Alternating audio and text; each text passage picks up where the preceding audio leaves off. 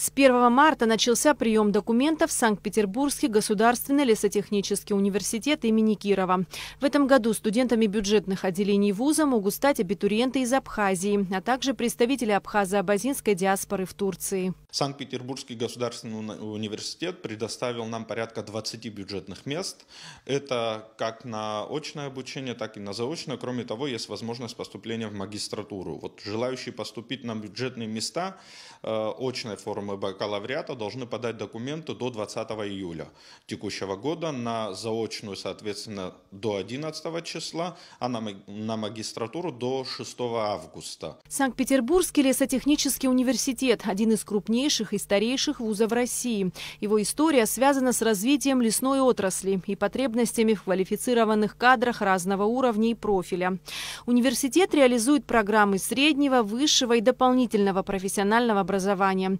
За время своего существования ВУЗ подготовил и выпустил более 75 тысяч специалистов в области лесной промышленности. Перечислю некоторые направления, э, которые, э, поступления на которых предоставляет э, университет. Это как ландшафтное устройство, вопросы, связанные с лесом, лесообработкой, технические направления специальности, деревообрабатывающая промышленность, но также есть такие специальности, как государственное управление, менеджмент э, и ряд других очень полезных, востребованных направлений. Кроме того, хотелось бы отметить, что сейчас рассматривается возможность приезда в Абхазию э, членов э, экзаменационной комиссии.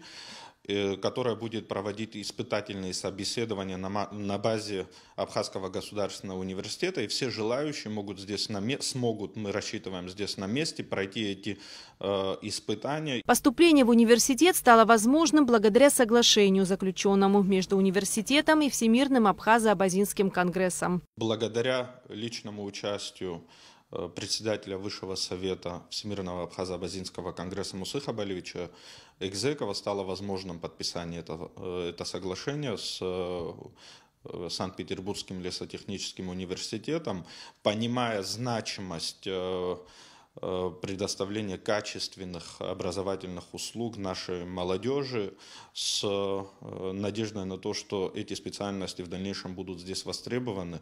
Э, работа велась, и вот сейчас имеем возможность как бы уже на практике реализовать достигнутые договоренности. Более подробная информация о поступлении в Санкт-Петербургский лесотехнический университет указана на официальном сайте ВАК. Эсма Гуланзе, Тимур Гугохи, Абхазское телевидение.